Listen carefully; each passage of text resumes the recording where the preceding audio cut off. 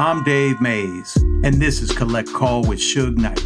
What you're about to hear are conversations, raw and uncut, with the legendary founder of Death Row Records. He's currently serving a 28 year sentence in California State Prison. His honesty, vulnerability, and current state of mind will all be heard in this groundbreaking podcast series, featuring conversations with me and many other guests who have agreed to accept Suge's collect call. Suge will be putting periods to all question marks while answering everything hip hop fans worldwide want to know. History will be made and documented in real time each week on Collect Call with Suge Knight. Suge and I both want to hear from you, so if you have any questions or input, please be sure to contact us at Breakbeat Media, authentically hip hop.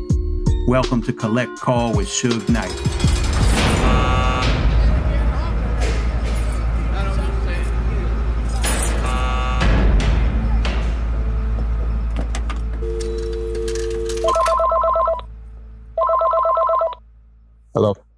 This is Global Tel Link. You have a prepaid call from Suge Knight. this call and your telephone number will be monitored and recorded. To accept this call, dial 5 now.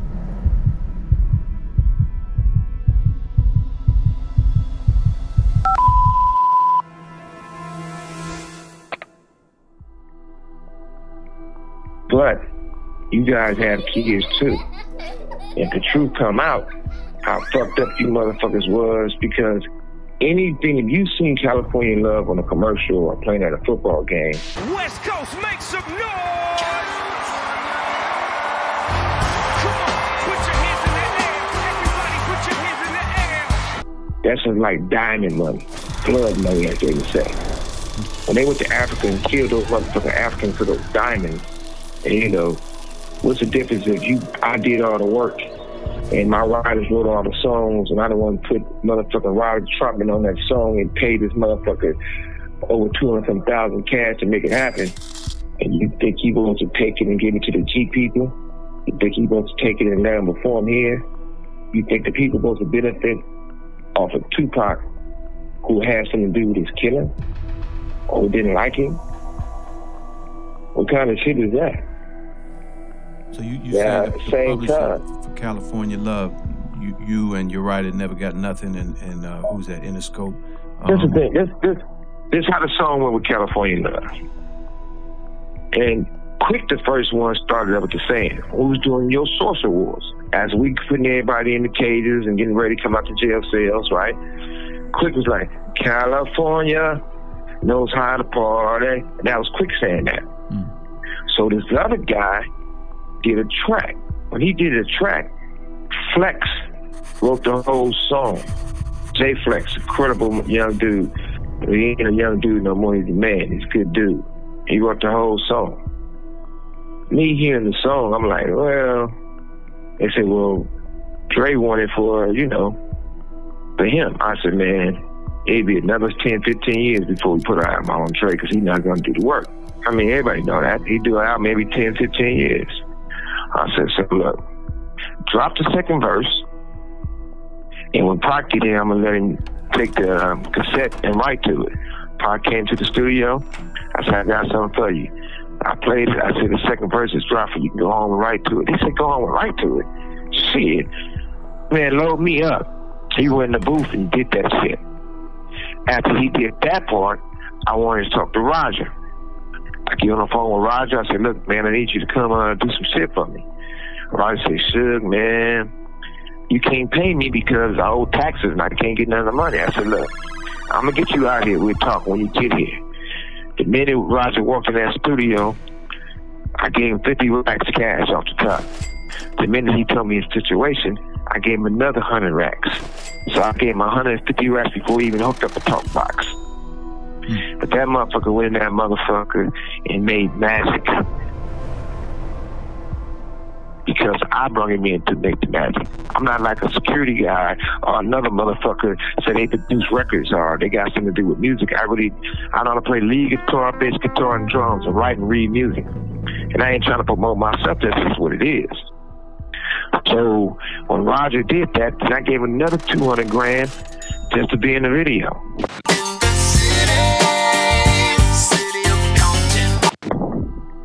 That made California love. So Pac wrote his verse, Jay Flex wrote Dre verse. As far as the California Love, Dre just he knew it was gonna be a hit. And how you know these motherfuckers hate Pac? They did the Super Bowl. They they they they, they performed California Love. You said you had, they did. I'm asking you, Dave. Okay, so on the biggest platform on the stage, the biggest song for California, the Super Bowl is in Inglewood. Woo to Inglewood, right? Now, if you look at that, it's in California. And y'all not gonna test California? Hmm. Because all those people out there, I can't say all, but most of them, at least we know two of them, hated Pac. And at the same time, since I wouldn't sell my company, since they couldn't out and take my company, they did fraud to beat my company. And when you go and get lawyers and stuff, they all connected to the same people. They'd be on board. I and um, one guy got a real answer from me, and I ain't gonna say his name. He know Crump. Before him, a lot of people talked to Crump from me, and the message came back to Crump was, "Well, you know, uh, uh, uh Suge Knight's still alive. He's not dead. I only represent the people who's dead." So I guess you gotta be killed by the police for this dumb motherfucker that's representing a motherfucker that's right. But if they steal something from you and fuck over your people, they don't got no they don't got no love for you. But at the same time it's crazy because I remember back in the day doing time. When people said something bad about Oprah Winfrey, shit, I got in their ass. You talking about this black woman. I fired their shit up, slap shit up. Don't say nothing about this black sister. But at the same time, Oprah wouldn't put rappers on her show. But Oprah promoted Straight Outta Compton, even though Straight Outta Compton tried to kill me and had me doing time right now.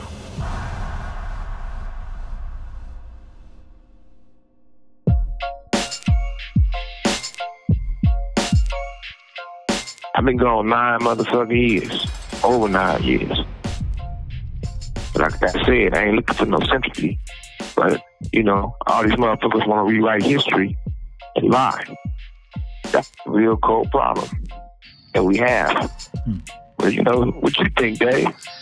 I mean, I think that um, you know a lot of things are starting to come to light slowly but surely. Um, you know, with some of these recent developments, and also with the impact this podcast can have, because people are getting to hear a lot of things from you that they've never heard before. A lot of information that people aren't aware of. Uh, even with these first couple episodes that we we've put out so far, you know, the, the the reaction has been incredible, and people are really, you know, like locked in. They want to hear more and they want to understand more. And like you've been saying from the beginning, you know, this is about trying to bring the truth out and then trying to help this younger generation. Culture. Look, You know, it's a, culture. Hey, Dave, it's culture, right? Because, you know, any person to do a label or whatever, they should be better than me in their flow. Because I didn't have nobody to teach me. I made a lot of mistakes. We don't make mistakes. But the next generation don't have to make the same mistakes we made. We build shit and we destroy shit. We got to keep building shit.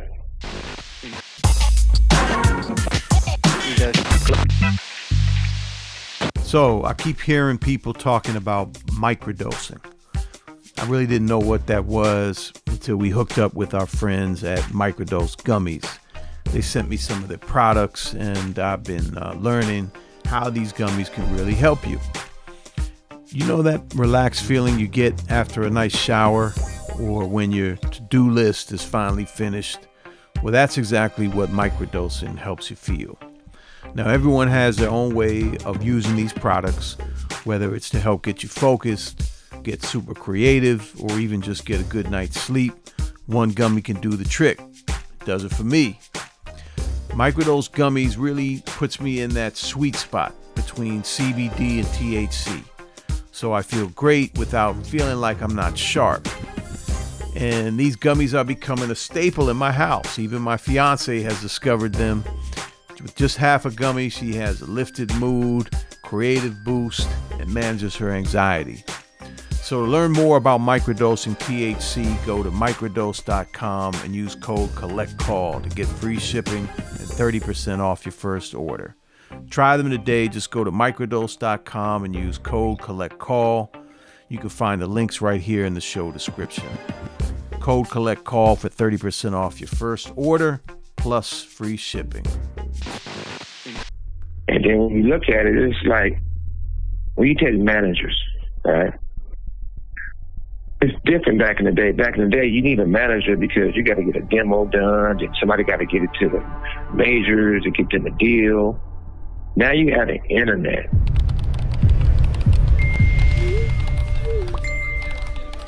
You got power. You don't need these managers just to get money out of you.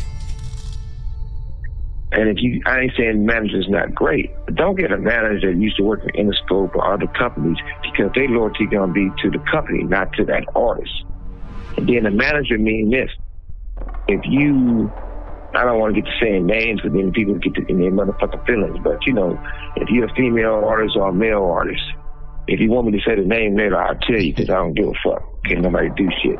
But it's like this: if this artist, and she's a female artist, and if they're gonna give her a million dollars for a merchandising gig, okay, they're gonna give her a million dollars to do promote something, okay, and the manager goes to them and say, hey, they're gonna give you a million dollars for this merch deal, they're gonna give you a million dollars for this commercial. The artist supposed to be smart enough to say, wait a minute, they already was gonna give me a million dollars for each one of those, right? They're gonna say, yeah. Well, what is you doing? If they was gonna give me a million dollars for a merch deal, you should say, I'm gonna get you two million dollars and then they get twenty percent of that. Don't get twenty percent out of somebody's gonna give you any motherfucking way.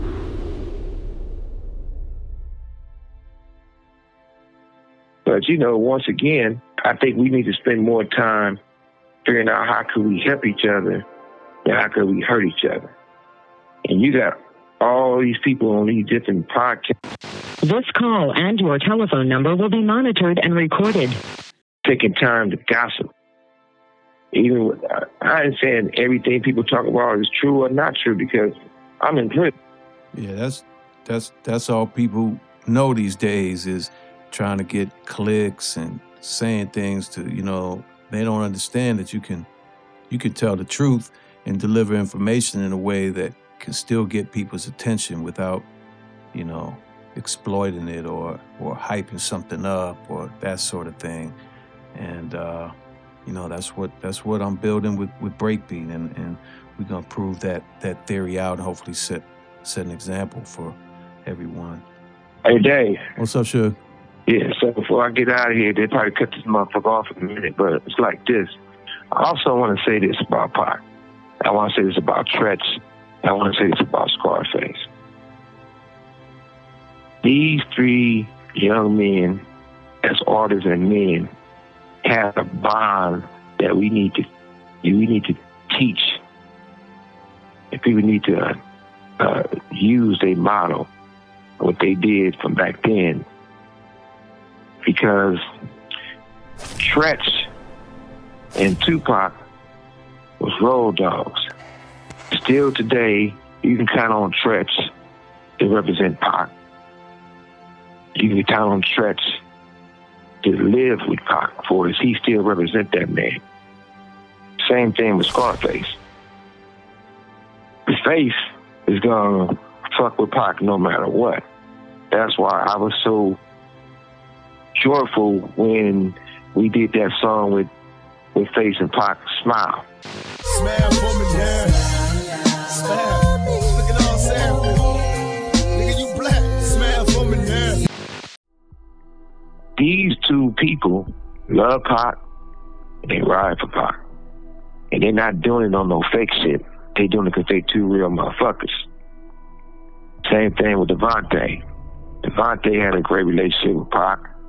And Devante is one of the best guys in his industry. And I say that because, you know, even when Missy's talented, well, Missy got a got her thing in the Rock and Roll Hall of Fame, which she deserved, and all these different people are congratulating her. But why didn't have Devante? Devante signed her. Devante discovered her. Devante told her. Same thing with Timbaland.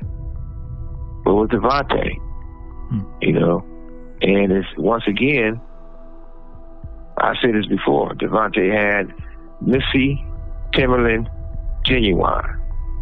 They took them from him. Ruff Ryders, Big D, what's up with you? The homie. Big Y, all those dudes, the Ruff Ryders, you know what I mean? Those the homies. Yeah. They had shit. DMX, the LOX, Eve. Once they blew him up, the majors basically fucked him out of it. They didn't do right. But this is a thing that goes on and on and on and continues to happen. And we still we haven't moved forward. They they they always have all the artists fighting each other, going against each other. But when somebody dies, that company makes more money. Somebody get hurt, that company makes more money. Well, who the money really going to? Not the motherfuckers who making the music, or the motherfuckers that's rapping. Mm-hmm. It's those companies who's not going to be there who discover these people.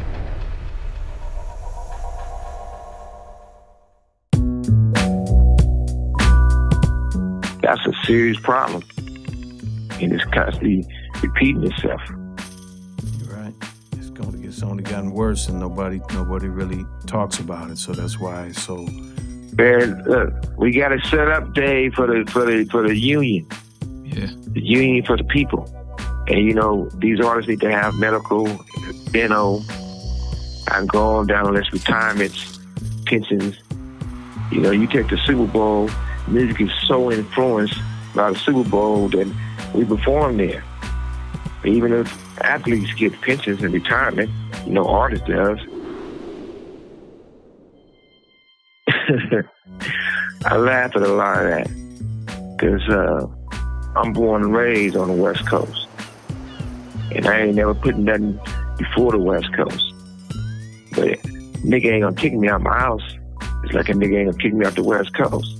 So all those shit they talking, you know, be about that shit. Don't start to sit and hide behind the police and stick the police on motherfuckers. This call and your telephone number will be monitored and recorded. So when it comes down and when it's actually said and done, all the people, a lot of neighborhoods got destroyed because the one motherfucker tried to recruit some motherfuckers from Compton. Southside boys, they was doing something at one time. Boys getting their money. The minute they start fucking with Puffy, that shit got caving in. And we all know what's up with that. You know who won that one. But that became behind one motherfucker trying to turn motherfuckers against each other. And even if you take the authorities knew from day one, yeah, they could talk about it. Now this is the crazy shit. We was going to the soul training. We going to the Soul Train Awards. It probably was maybe 75 motherfuckers from Compton on our way to those awards. It probably was a whole, it was a bus full of uh, people from the Bay going to those awards with us. And then you had other people going to those awards with us. And the Soul Train Music Award goes to Notorious B.I.G.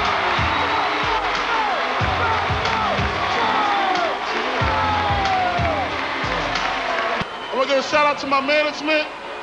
Puff Daddy, the whole label, Arista. Yeah, everybody said they love Pac, but then it was the police, off duty, off duty police officer. But you know, ain't no such thing as off duty. Once you're a cop, you're always a cop. You're a football player, no such thing as a former football player, a former cop, former hoe. You always these things. That's who you are, right? So when you look at it, this cop told the other police who getting paid by us, who say they love and they to be protecting Pac, try not to let none of our people in. I'm gonna give you a heads up. How you gonna give us a heads up and let them in and not let our people in? But everybody had to bum rush to force their way in. You had a guy with with Puffy them. This person ran, that person ran. You had one motherfucker who pulled out a gun. You got LAPD handcuffed this motherfucker for his gun, but you never heard about that case. It just go away.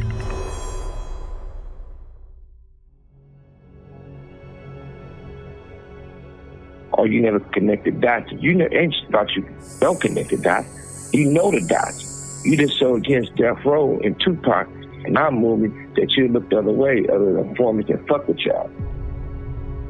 So this is some crazy shit that people just don't realize is just there.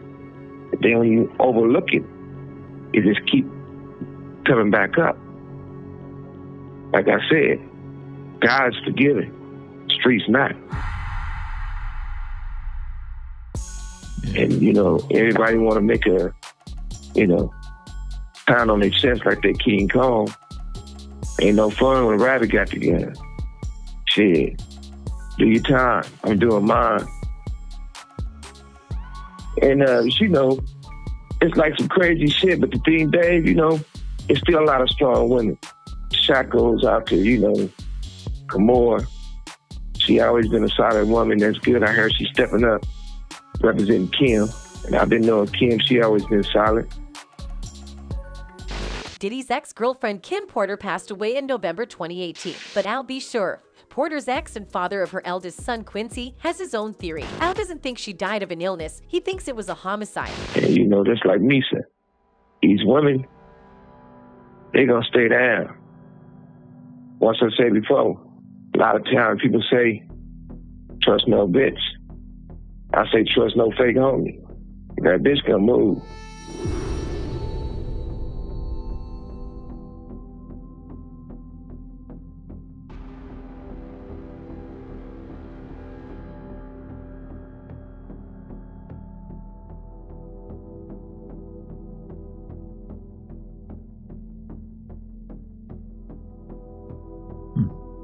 Yeah, the homie might be undercover.